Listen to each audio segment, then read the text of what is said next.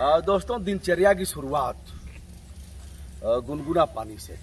यानी सो करके उठा, मुँह धुल करके गुनगुना पानी यदि मिल गया लगभग 500 ग्राम 600 ग्राम तो ठीक है। एक गिलास भी मिल गया, ठीक है। यदि नहीं मिला तो सामान्य पानी से भी शुरुआत हो जाती है। पानी पी करके फ्रेश होने की आदत है। यानी शौच के लिए जाएँगे। तत्पश्चात दातून का नंबर आता है। तो दातून यदि देहात में रहता हूँ और ये अगर उपलब्धता है तो मैं नीम खोजूँगा। और नीम का डंठल नहीं, पत्तियाँ। अब यह पत्तियाँ हैं। किसी ने दातून तोड़ा था, उसमें से पत्तियाँ मिल गई हैं। अब इसको ऐसे किया। इसको करने के बाद अब इसे कुपटना है। दांत दो प्रकार के हैं। एक कृंतक है नहीं, चार प्रकार के हैं। कृंतक रदनक अग्र चरबणक और चरबणक तो यह कुतरने वाले दांत से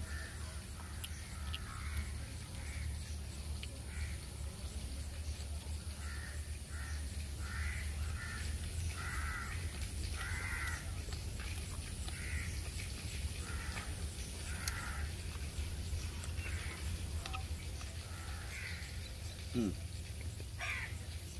ऐसे हो गया, इसे बगल में ले लिया हूँ। बात करने में दिक्कत ना हो। इससे हम दातून करेंगे दांतों की सफ़ाई करेंगे। अब आपको पता ही है कि नीम एंटीऑक्सीडेंट है। तो मुँह का दुर्गंध दांतों की सफ़ाई और पूरी तौर पर हम्म, जो आयुर्वेद के मानक हैं उसकी पूर्ति करते हुए हम मुँह और दांत की सफ़ाई कर लेंगे। तत्पश्चात यदि दातून का डंठल हो या फिर जब भी आप रखिए उसको दातून को मत तोड़िए। बड़े काम का है, नीम बड़े काम की है। और भी तोड़ा जा सकता है, एक का है तो इसका भी तोड़ करके, इसको फाड़ करके बनाया जा सकता है। तो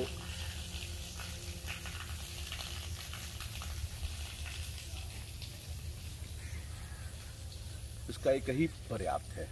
दो हमने ऐसे ले लिया है। एक को खा के पानी पी जाऊँगा बाद में।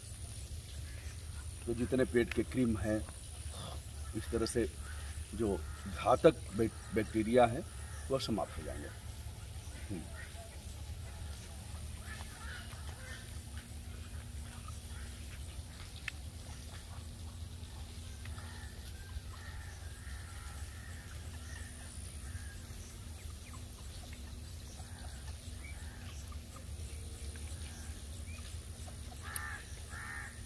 ऐसे दांतों की सफ़ाई हो जाएगी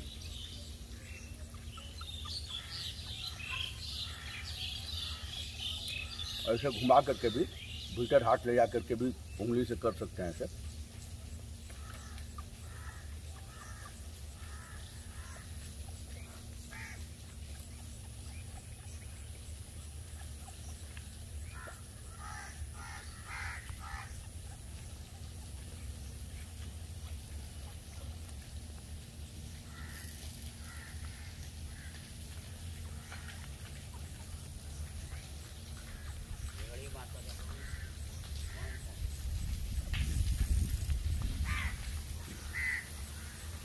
अब जीव साफ़ कर लेंगे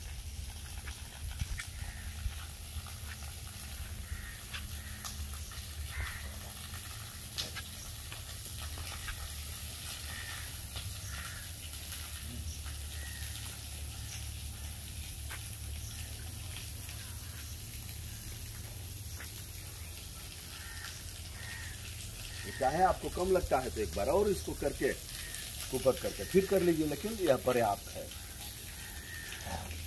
कम नहीं है। अब रह गई बात चाहे लोहे, प्लास्टिक की भी हो, उससे आप कर लीजिए जीप साफ़। या फिर किसी डंठल को आप ले लीजिए। इसे क्लिप्टस का है या बहुत तो पर्यावरण के लिए घातक है एक तरह से। पानी भी शोषित करता है, भूगर्भ जल इससे प्रभावित होता है। तो लगा है, यहाँ पानी भी अधिक है। तो इसको तोड़ने में बहुत अधिक दिक्कत नहीं है। लेकिन नीम का तोड़ने में तो दिक्कत होती है, क्योंकि नीम बड़े काम के हैं। दोस्तों, ऐसे ही है। अब वीडियो को हम यहीं बंद करते हैं और फिर जीप साफ़ करके और ऐसे फ्रेश हो जाते हैं। फिर आगे की दिनचर्या मैं आगे बताऊँगा कि कैसे होता है या सीखा है हमने डॉक्टर कमल टावरी जी से, जो भारतीय प्रशासनिक सेवा के अफसर रहे हैं और भारत सरकार के सेक्रेटरी रहे हैं। तो उनको मैं देखता हूँ कि ऐसे लेकर के रखते हैं अपनी बैग में।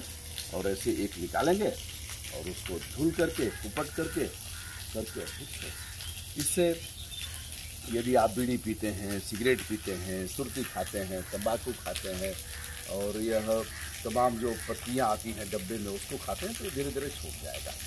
तो इसको छुड़ाने का एक सहज और आसान तरीका है कि इसको करिए। इसको बाद में मैं खा भी जाऊँगा, खा करके पानी पी लूँगा।